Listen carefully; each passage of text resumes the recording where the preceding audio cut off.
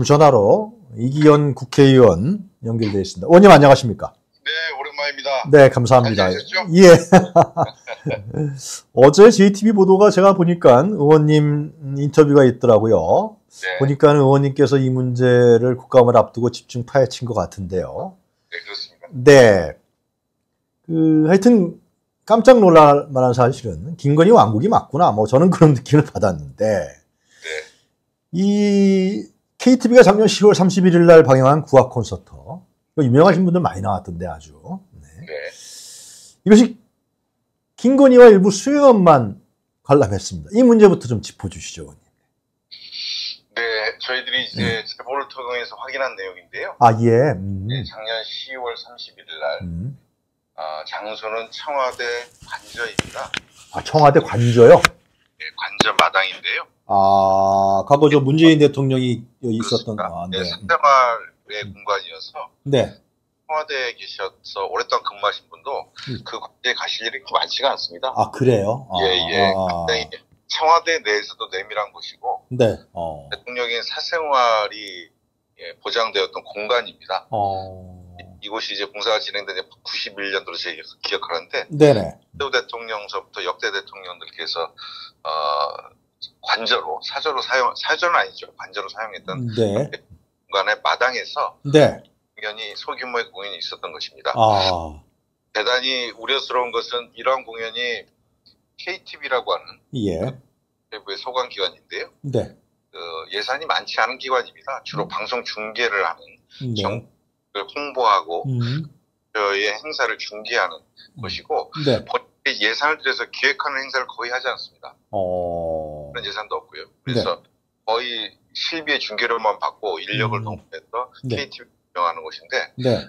대한 정부 예산, 자기들이 가지고 있었던 예산 중에 무려 8,600만 원이라고 하는 돈을 들여서 네. 내밀한 곳에서 음. 아주 소대 인원만을 물론 그들이 주장하는 여러 가지 이유가 있습니다만 네. 어, 나중에 추후에 더 확인되겠습니다만 예. 계속 거짓말을 하는 행위들이 벌어지고 있어요. 아, 그래요? 음. 예, 예. 처음에는 그 아시다시피 부산 엑스포 유치를 위한 네. 홍보전을 으로 음. 어, 자기들 처음에는 그런 얘기를 했다 나중에 번복합니다만 예. 대와 그다음에 제외 공간의 음.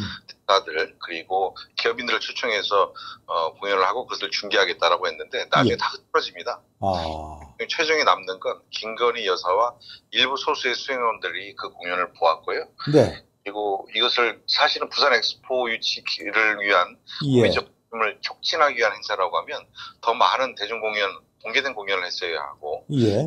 그래서 홍보 수단을 통해서 홍보했어야 되는데 그렇지 않고 자기들 홈페이지에 걸어놓고 음. 뭐 유튜브라든지 네. 대중 하기 쉬운 그러한 홍보 수단을 사용하지 않았습니다. 네. 적절한 행위이고 네. 뭐 정부 예산을 사적으로 이용한 음. 또 선의를 가지고 부산 네. 하는 민적 공감대를 올리는 행사라고 알고 참여한 네. 정말 원로의 대한민국의 최고의 무형 문화재 예술인들께서 얼마나 어, 분노하시고 상심하셨을지 생각해 보면 분이 치밀어 오릅니다. 그 무형 문화재 그 국악인들도 많이 참여하신 거죠, 거기에요.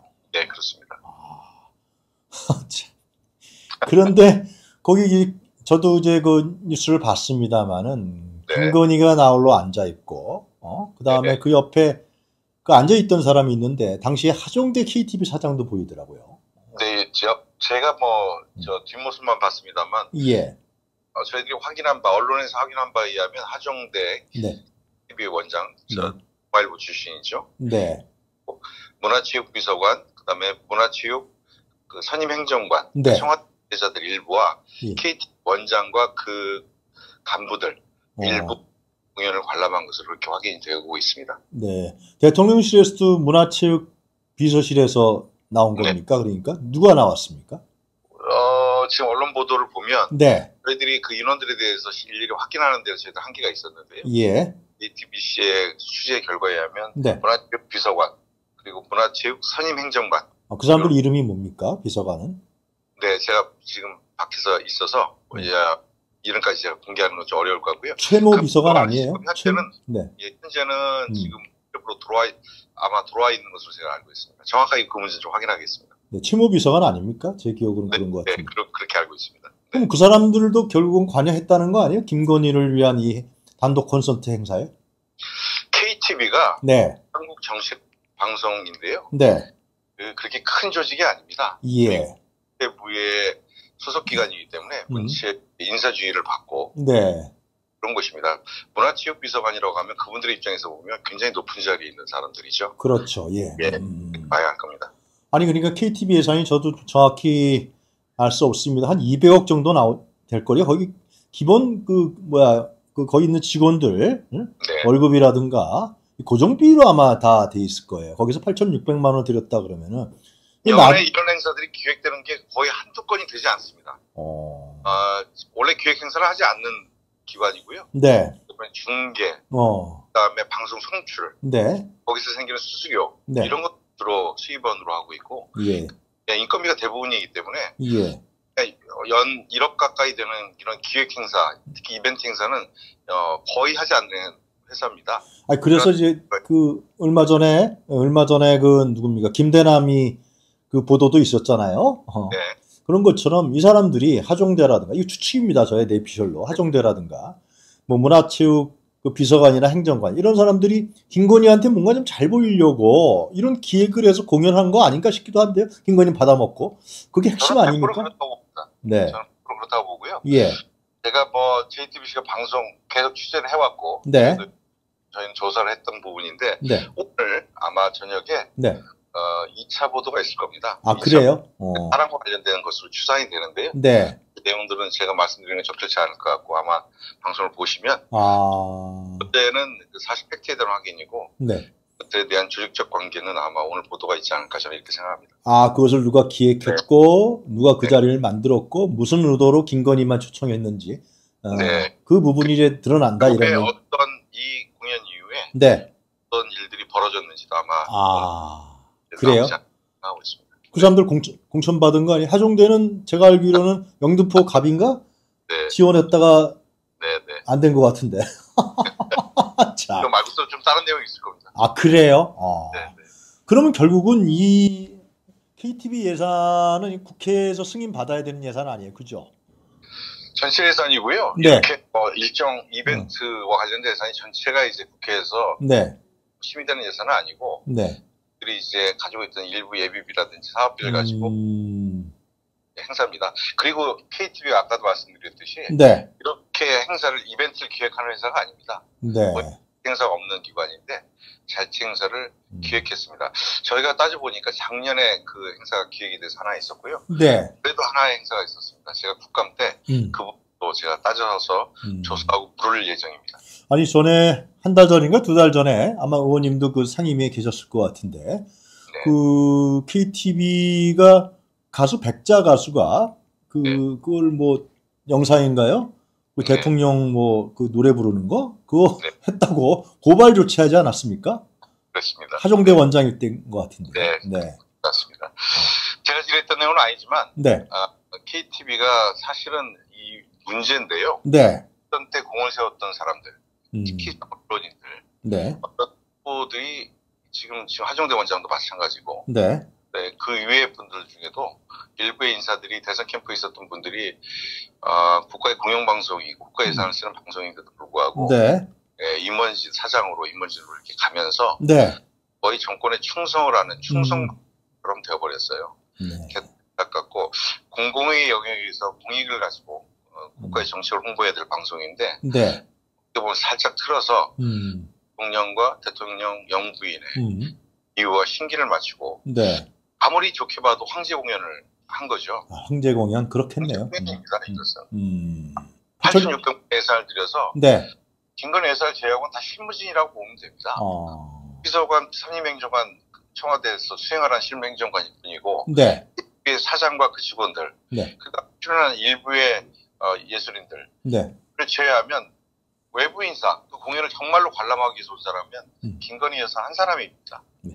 거기에 8,600만 원 예산을 썼다는 건 그리고 만약에 예. 우리 말했던 부산 엑스포 유치와 관련된 행사를 기획했다가 여의치 않았으면 취소를 했어야죠. 그렇죠. 어. 예, 취소하지 않고 저희 공간에 대사관 아저 각 대사들을 부른 것도 아니고 기업인들을 부른 것도 아니고 자. 적극적 홍보한 것도 아니고 예. 심지어는 아, 아무도 없었다라고 얘기했다가 나중에 김건희 여사가 그 자리에 왔던 것이 밝혀지니 말도 바꾸고 있어요. 아, 그래요? 음. 네네.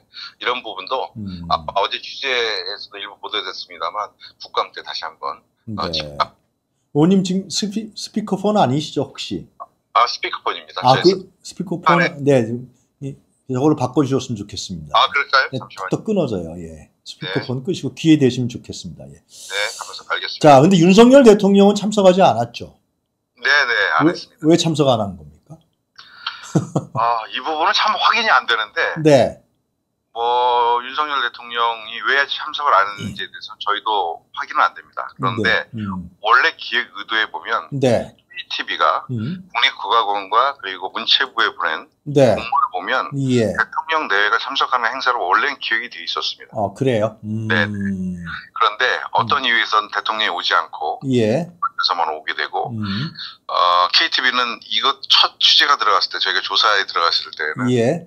이것은 저 관중 없이 음. 하는 행사였다라고 얘기했다가 나중에 이제 어, 일정 제보에 의해서 그 자리에 음. 김건희 여사가 왔고 그리고 그 그분들을 VIP로 접대하기 위해서 대접하기 위해서 음. 탁자가 준비되고 그리고 음. 고가의 꽃들이 준비가 되고 네. 꽃에 대한 상세적인 스펙까지도 그 업체에 지시하는 그런 내용들이 나옵니다. 아. 처음에는 그러면- 국회의원한테 국회 거짓 보고했었군요, KTV 관계자가. 예, 처음에는 이제 음. 어, 아무런 관중 없이 아. 진행한 행사였고 그것을 이제 나중에 음. KTV에서 송출을 2회 어. 했다 라고 얘기했는데 실제로 KTV를 보는 분들이 많지 않죠. 예. 많지 않은데 그 키면은 윤석열 얼굴밖에 안 나와요. 예 그렇습니다. 아. 네. 그 의원님 보시기에는 왜 KTV가 이렇게 거짓말을 늘어놓다가 나중에 그것이 발각되니까 간접적으로 인정한 건 왜 그렇다고 생각하세요? 어, 재발이 저렸죠. 아. 예, 예. 기획 의도가 분명했습니다. 아. 네, 뭐 엑스포 유치를 위한 국민적 뭐 공감대를 형성하기 위한 공연은 네. 아니었던 것 같고요. 음. 네, 어, 특정한 인사들이 음. 권력에 잘 보이기 위해서 음. 국가 예산을 써서 행사를 기획했고 음. 크게 기획했으나 나중에 축소돼서 어, 대통령은 안 왔지만 김건희 여사가 온다고 하면 무조건 한다. 아. 라고 해서 행사를 진행했다라고 저는 보여집니다. 대통령 원래는 대상이었는데 안 온다고 해도 네. 김건희만 오더라도 행사는 무조건 진행한다. 김건희가 제일 높으니까. 그 네. 상당한 효과를 봤던 걸로 저는 판단합니다. 어떻게요? 적어도 행사의 주체들은 네. 문제는 뭐 오늘 저 방송 한번 보시죠. 제가 아. 예, 다 말씀드리기 좀 어려운 측면이 있을 것 같고요. 네. 네, 네. 이거 김대남하고 좀 비슷한 케이스네. 그렇게 보여집니다. 결국 하정대도 뭐 최종 공천은 받지 못했지만 거기에 뭐 예비 후보까지 신청을 했다가 누구한테 밀렸더라. 하여튼 뭐 더 센 사람한테 밀려버리고. 그다음 거기 참석했던 문화체육 비서가 아니라 행정관도 결국 총선에 나갔던 모양이죠. 그 사람들이. 아니요, 저뭐 모르시는 또 제3의 인물이 있을 수 있습니다. 아, 또 있어요? 네. 아, 실질적으로 기획한 사람이 있구나. 음, 한번 보시죠. 알겠습니다. 예. 제가 네. 아, JTBC 취재가 열심히 한 부분이 있어서 아. 제가 그 부분에 대해서 다 말씀드리는 것은 또 그렇죠. 예, 그러면 안 되죠. 말씀드리고요. 예, 또 예. 국감에서도, 어, 이- 국감에서 제가 꽤 캠프를 예정이고요. 네. 예, 그 그분들 다 증인 지정돼 있고. 아, 그래요? 어, 그럼 KTV 국감이 따로 이루어지는 겁니까? 어, 문체부 소관 기관이기 때문에 예. KT 국감 기- 어, 소관 대상입니다. 그 언제입니까, 그게? 봐야겠네, 꼭. 월요일서부터 문체부 국감이 시작되는데요. 네. 본부 국감 할 때 할 수도 있고요. 또 아, 별도로 이제 저희도 시간 잡을 수도 있고 그렇습니다. 네. 자, 김건희 황제 공연이라고 말씀하셨는데, 지금 오늘 그 재의결 절차가 있죠, 국회에서요. 그쵸? 네, 그렇습니다. 네. 오늘 두 개의 본회의가 열리고요. 네. 음, 네, 김건희 특검, 음, 네, 그리고 최상병 특검, 최상병 특검, 또 예, 그렇게 저기 저, 지역 앞에. 네. 이거, 이거 어떻게 될 것 같아요, 결과가? 의원님 보시기에는? 핵심은 김건희 특검일 텐데요. 네. 김건희 특검 관련돼서는 저는 국민적 여론이 이미 형성돼 있다고 생각합니다. 네. 국민들께서는 김건희 여사의 불법 행위가 음. 지금 뭐 하루가 다르게 늘어나고 있지 않습니까? 네네. 네, 예전에는 음. 도이치모터스 주가 조작, 음.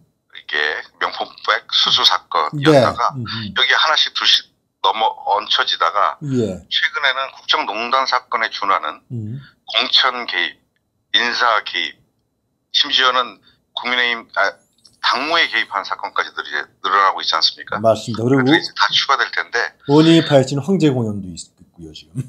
만약에 오늘 이것이 이제 부결되고 나면 네. 다음에 다시 저희가 국민의 여론을 받아서 특검을 재발의할 텐데 아, 그때는 의혹이 하나씩 둘씩 늘어나면 그 의혹도 다 넣을 수밖에 없습니다. 네.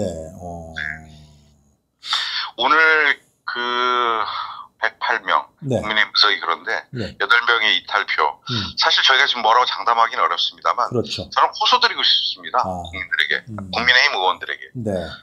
국민이 70% 이상 일반 음. 여론조사들 보면 그런데 네.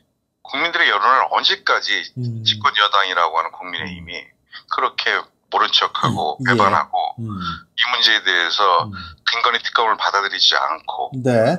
부결시켜 나갈 것인지 음, 국민들이 가만히 있지 않을 겁니다. 저는 국민들의 분노가 이제는 임계점에 다다랐다. 음, 더 이상 국민의힘의 의원들이 이렇게 국민을 배신하는 행위를 한다면 네. 사실직 공직자로서 음, 저는 해서는 안될 일들을 계속하고 있, 는 것이다. 그것은 음. 국민의힘에 대한 심판도 윤석열 정권에 대한 심판도 있겠지만 네. 국회의원 개별 의원들에 대한 심판으로 이어질 것이다. 저는 이렇게 생각합니다. 근데 의원님 보시기에 전에 청와대도 계셨으니까 잘 아시겠습니다만 의원님 보시기에 국민의힘 한동훈이라든가 이 네. 친한계 인사라든가 아니 국민의힘의 의원들에게 오늘의 재의결 부분에 있어서 또 반대가 108명이 다 뭐 반대표를 던진다 그러면은 국민의힘에 사실상 내부적으로 큰 부담이 되는 거 아니겠습니까? 그러니까 이탈표가 전에는 안철수 혼자 찍었나요? 하여튼 그런데 최상병 특검 때 그랬죠. 네? 최상병 특검 때. 아 그때 안철수 혼자만 네, 네, 남아 네, 있었죠. 네, 예. 네. 이번에도 그런다 그러면은 사실상 김재수 의원이 저 무효표였던 걸로 아. 기억합니다. 예. 10월 16일 재보궐 선거도 있는데요. 자기네 텃밭인 부산하고 인천 강한데 이런 문제에 상당한 영향을 그걸 그걸 국민의힘 한동훈이라든가 이 의원들이 알고 있지 않을까요? 알고는 있을 겁니다. 네. 조사모사라고 네. 오늘 맞을 매가 더 아파 보일 겁니다. 아, 예. 그래서 네. 사실은 이 한동훈 대표가 오늘 아침에 기사를 보니까 네, 뭐 자기는 재의결에서 부결될 것이라 본다. 그렇게 어. 해야 한다라고 생각한다 이렇게 생각했던 말했던데 저는 한동훈 대표가 진퇴양난이라고 생각합니다. 아 지금 진태양난이. 가, 예, 갈수록 본인의 처지 입지는 없습니다. 네, 만약에 이것이 이제 108명에서 이탈표 없이 음, 부결된다고 하면 예, 그건 한동훈 지도력의 한계라고 저는 생각이 되고요. 네, 한동훈 대표가 더 이상 음, 국민의힘 내에서 대표로서의 입지를 가질 수 없다라는 생각을 하고요. 16일 날 있을 보궐선거에서 만약 부산 금정에서 네, 예, 야권 단일 후보가 당선이 음. 된다고 하면 예, 아마 국민의힘 내부에서 한동훈을 이제는 더 이상 놔둬서는 안 된다. 그렇지. 내보내야 한다라고 음. 하는 여론이 급격하게 늘어날 것이고 한동훈 대표가 피하기 어려울 것입니다. 아, 그럼 며칠 안 남았네요. 한동훈이 쫓겨날 일도, 쫓겨날 날도. 지금 한동훈 대표와 용산 윤석열 대통령과의 갈등 관계는 뭐 본인들도 다 인정하고 있는 거 아닙니까? 글쎄 말입니다. 네. 어, 저는 사실은 여, 집권 여당이 집권 세력이 음. 우리 선배님도 예전에 당에 계셔서 아시겠지만 네, 네. 이러한 경우에는 도저히 이건 집권당이라 할 수가 없습니다. 음, 책임 있는 정치 세력이 아닙니다. 네, 어, 네, 이런 사람들 더 이상 놔둬서는 안 되고요. 네. 대한민국의 운명을 이런 정당, 이런 집권 세력에게 맡겨서는 안 된다. 저는 그렇게 생각합니다. 오늘 한동훈의 오늘 오늘의 아주 중요한 날이군요. 오늘이 이제 며칠 안 남았잖아요. 보- 보궐선거 1월 16일까지 만회할 수 그거 있는 중요합니다. 네. 음, 한동훈아 잘 봐라. 하여튼 네. 하여튼 알겠습니다. 오늘 바쁘신데 네 이렇게 인터뷰해 주셔서 대단히 감사드리고요. 네, 네, 우리 이기호- 고맙습니다. 네 이기호님 활약 기대하겠습니다. 파이팅입니다. 고맙습니다. 고맙습니다. 네.